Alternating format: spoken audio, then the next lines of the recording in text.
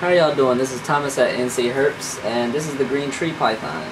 Alright, they're normally from tropical rainforests around extreme northern Queensland in Australia and New Guinea. Basically, they're an arboreal species that requires high humidity and about tropical conditions on the temperature. Alright, they're arboreal, so in the wild they eat mainly arboreal mammals and small birds. But in captivity, you feed them mice, which they feed pretty rarely on those. Uh, you can even feed them finches when they're full grown. Uh, they spend most of their entire life in the trees and on the limbs and stuff, so rarely you wouldn't need to put substrate on the bottom. I just keep the cypress mulch on the bottom to keep the humidity up. Also, this one's pretty active, so he's constantly moving around and tongue flicking and trying to find out what in the world we're doing right now.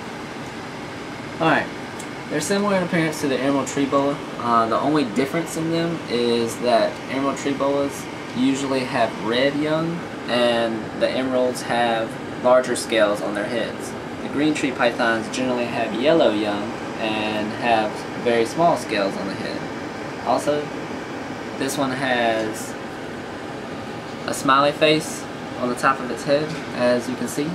Uh, I picked this one out, I thought it was pretty cool looking. So all the other ones that the man had didn't have any. So, anyway,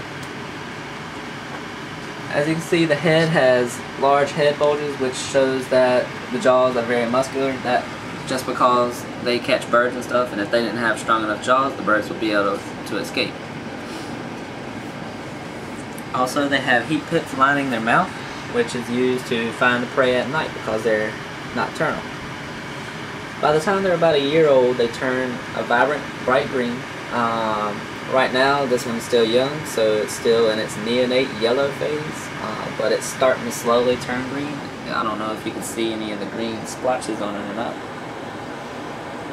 Alright, these are egg layers, which generally all pythons are egg layers, and they produce up to 25 eggs, which around 13 or so is generally the average. Alright. Also, let's see here. I'm trying to remember.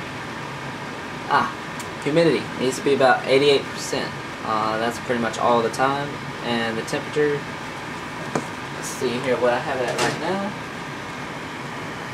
84.8, which that should be the hot side, and the cool side should be about 77. Which 77 is what it's at at the very bottom and I have a limb that goes through the very middle so it's able to thermoregulate itself. Uh, also I'm going to be making a video on this soon of it eating so thanks uh, for watching Thomas at NC Herp on the Green Tree Python.